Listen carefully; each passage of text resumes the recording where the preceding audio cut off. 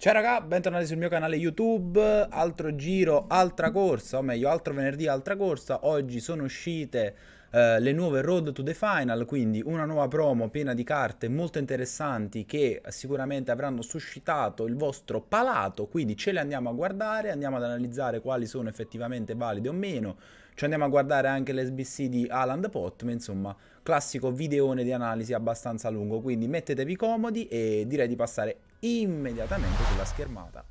dove ci attende il primo big boy, ovvero il buon Rafael Varan in questa versione appunto Road to the Final, cosa vuol dire che è una carta dinamica, qualora dovesse passare il turno Real Madrid, in questo caso contro l'Atalanta, riceverebbe un upgrade. Andiamo subito a vedere che si tratta di una carta al valore molto elevato, ossia un prezzo di 2 milioni su PS4 e 1 milione e mezzo su Xbox, che io ritengo ovviamente eccessivi e dettati dall'hype della carta appena rilasciata. Sicuramente andrà ad assestarsi su un prezzo un po' più basso. Sicuramente parliamo di una carta che rispetto alla carta base riceve degli upgrade importanti. Difatti abbiamo addirittura un, um, più 2 in accelerazione, un più 2 in sprint speed che lo rendono ancora più reattivo. Abbiamo un aumento anche in quelle che sono le statistiche di passaggio, addirittura 5 punti in più di corto e 5 punti in più di lungo, quindi questo veramente top perché eh, lo rendono anche abilissimo con i piedi. Riceve ottimi, ottimi, ottimi upgrade anche per quanto riguarda la um, reattività e il ball control, la composure, ovvero la freddezza, lieve boost per quanto riguarda le statistiche difensive e boost decisivo invece per quanto riguarda forza e aggressività. Il discorso però che va fatto con questo Varan è che attualmente presenta il prezzo praticamente di un Toti, per cui vale la pena andare a comprare questo Varan? Sì, se siete gli sceicchi del Kashmir, no, se siete un utente comune, visto che questa carta qui in meno di uh, due settimane risentirà di un crash importante, visto che usciranno per l'appunto i Toti, quindi sicuramente validissimo, sicuramente utilizzabilissimo, ma occhio a fare spese folli, soprattutto in questo periodo per questo Varane. Ovviamente stile intesa consigliato per il buon Raffaele, il classico Ombra. Altra cartina che è uscita è quella di Giorgino Vainaldum, una carta che devo dire la verità, anche qui molto molto valida, eh, prezzo un po' esagerato a mio avviso, visto che per questi prezzi troviamo un Renato Sanchez eh, in versione Europa League, troviamo un Pogba Rule Breaker, insomma, quindi carte che eh, vuoi per un motivo, vuoi per un altro, io ritengo comunque superiori. Anyway, carta molto interessante, di fatti riceve un più 2 in accelerazione e in velocità scatto, riceve un, um, un più 2 in passaggio corto e in passaggio lungo, un più 2 in tutte le stazze di dribbling, quindi questo qui molto molto agile, molto reattivo, ottima la freddezza, statistiche difensive che vengono boostate con un più 3 e vanno tutte quante tranne la scivolata in un, un colore verde di quelli che ci piacciono a noi, e buone anche il boost per quanto riguarda le stats di fisico, anche se qua comunque forza e aggressività rimangono parametri abbastanza deficitari. Poi per il resto è un 4-4 con work rate alto alto, quindi niente da dire. Però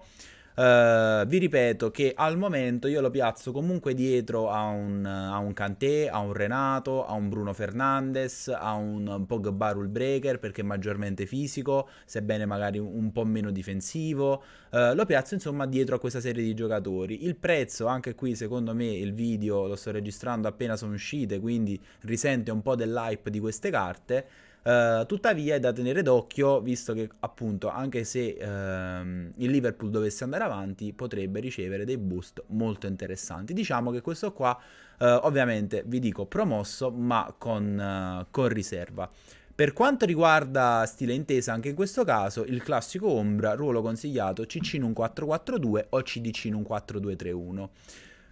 Un'altra carta che mi ha sorpreso tanto è questo David Alaba e vi spiego perché.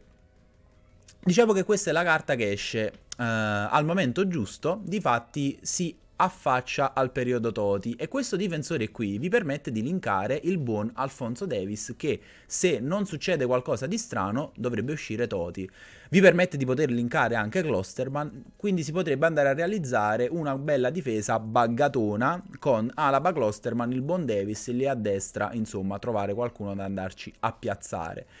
4-4 per il buon Alaba, riceve anche lui delle, delle stazze importanti, eh, aumentate, più 3 in accelerazione e in velocità scatto, abbiamo poi un più 3 in passaggio corto e un più 3 in passaggio lungo, addirittura più 4 in quelle che sono le stazze di dribbling, quindi diventa molto molto agile, molto reattivo, ottima la freddezza, statistiche di difesa che anche qui vengono boostate di 4 e diventano veramente eccezionali, forza 80 e aggressività 78 rimangono ancora un pochino così e così, però assolutamente valori eh, al top per questo Alaba che vi ricordo che ha il turno contro l'Atalanta, quindi diciamo un avversario abbastanza malleabile che potrebbe eh, essere superato facilmente, no scusatemi, contro la Lazio, Uh, Atalanta è contro il Real, scusatemi, uh, potrebbe essere facilmente superabile dal buon Bayern, che diciamo che con le romane ha un buon feeling in Champions League, e, e quindi potrebbe andare ulteriormente a boostarsi e essere sempre più il partner ideale per linkare il buon Alfonso Davis, che vi ripeto vi aspetto Toti, quindi silentesa ombra per il buon Alaba da provare, tanta tanta roba secondo me, promosso a pieni voti. Un'altra carta molto interessante è questo Cancelo,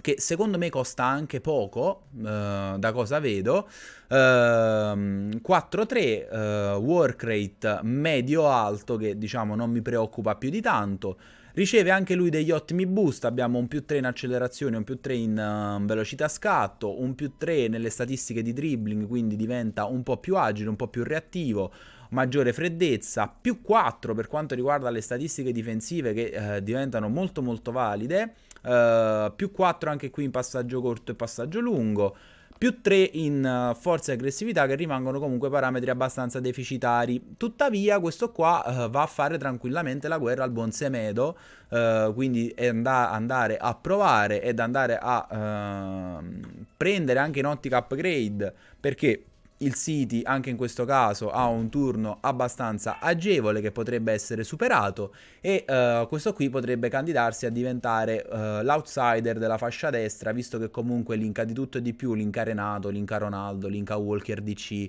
uh, linka Bruno Fernandes, linka, linka la qualunque quindi veramente tanta roba. Vi ripeto, secondo me al momento il prezzo è anche abbastanza basso. Mm, vi dico questo. Stile intesa in questo caso gli andrei a piazzare o un'ombra o un'ancora, visto che ai terzini sono solito anche andare a mettere ancora. Prossima carta abbiamo il buon Julian Vorant, che ve lo dico alla francese, ma in realtà è tedescan, quindi mm, abbastanza inutile. 4-4 per lui, 1,85 m di Cristiano con um, medio alto. Anche qui boost che sono abbastanza interessanti, un più 3 in accelerazione, un più 3 in velocità, diciamo che bene o male i boost che hanno ricevuto queste carte sono abbastanza omogenee, più 3 per quanto riguarda tutte le stats di dribbling, un uh, più 3 in passaggio corto e lungo. Qui il discorso è che si tratta di un giocatore di 1,85 m, quindi con l'agilità 84 sicuramente non l'andate a sentire. Questo qua mi sa un po' di tronco, quindi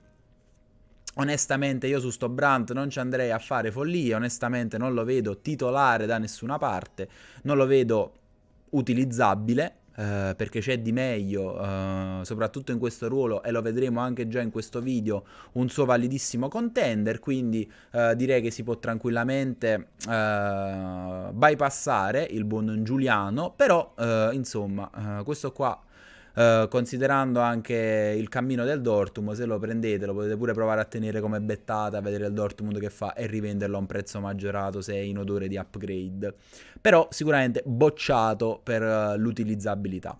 Abbiamo poi il buon Mauro Icardi, carta più inutile di questa non poteva uscire perché parliamo di un giocatore con 3 di skill e 4 di weak foot, sapete quanto sono importanti le skill quest'anno, almeno 4 per fare un doppio passo come Cristo comanda, un tacco tacco come Cristo comanda, eccetera eccetera, perché le skill vi ricordo incidono su anche la um, qualità della skill, uno che ha uh, 4 di skill fa un doppio passo meglio di sto Icardi che è un 1,81 m di giocatore con 74 di forza bello piantato per terra, 70 78 di accelerazione, 77 di velocità, insomma mi fa anche un po' tenerezza il buon Mauro che sicuramente avrà modo di consolarsi con Banda per aver ricevuto questa carta che insomma è totalmente useless, quindi bocciatissimo il buon Mauro. Le cose tornano invece a farsi interessanti col buon Paul Pogba in questa sua versione Europa League che costa come al solito uno sfacelo. Ogni volta che Pogba prende una carta speciale va totalmente alle stelle per poi assestarsi, vedete, con l'IF Uh, a un prezzo molto più cristiano, visto che questa praticamente è il doppione della carta IF, solamente in versione dinamica. Quindi, qualora il Manchester United dovesse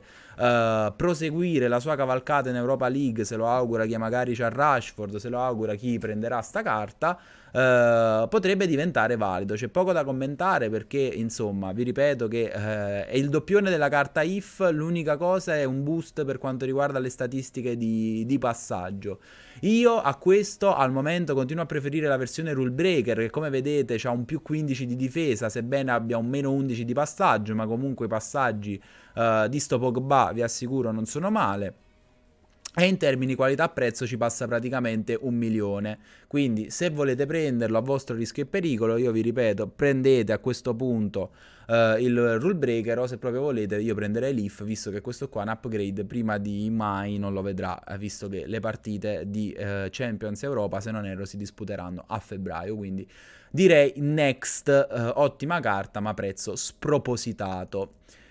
Questo qui già so che mi causerà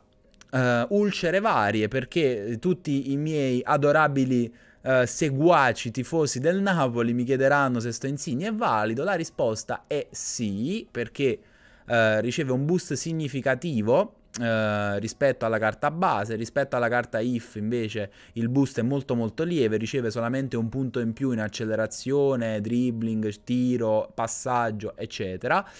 e alla fine non ci passa manco tanto di differenza, quindi considerando che comunque il Napoli può tranquillamente andare in Europa League e questo può upgradarsi, si può anche andare a prendere questo piuttosto che la carta IF, sebbene al momento siano molto simili, è comunque un 4-4 molto scattante, con una bella cacciatore l'esterno lo può fare, volendo anche l'attaccante in un attacco a 2 e il buon Lollo Insigne soprattutto in una Serie A è il top esterno lì a sinistra quindi tanta roba il, lo scugnizzo napoletano Altra cartina è questo Takefusa Kubo, incubo um, di tutti i giocatori di foot dell'anno scorso, 4-4, riceve una miriade di boost rispetto alla carta base, un più 8 in accelerazione, un più 6 in velocità, uh, un più 11 in praticamente tutte le stats di tiro che comunque rimangono abbastanza al limite. Uh, un più 11 anche in stats di passaggio che il, col corto che diventa ottimo mentre il lungo è sempre abbastanza marcio. Un più 8 in tutte le stats di dribbling che lo rendono sicuramente molto molto agile visto che comunque è un giocatore anche di 1,73 m poi per quanto riguarda invece il resto delle statistiche uh, abbiamo un uh, più 15 in stamina cosa molto utile un più 10 in aggressività uh, in forza e un più 9 in aggressività che insomma poco ci interessano. Sto cubo onestamente io lo utilizzerei magari più da super sub con una bella cacciatore piuttosto che da titolare visto che comunque parliamo di una carta con 77 di freddezza che mi fa sempre scattare il campanello d'allarme.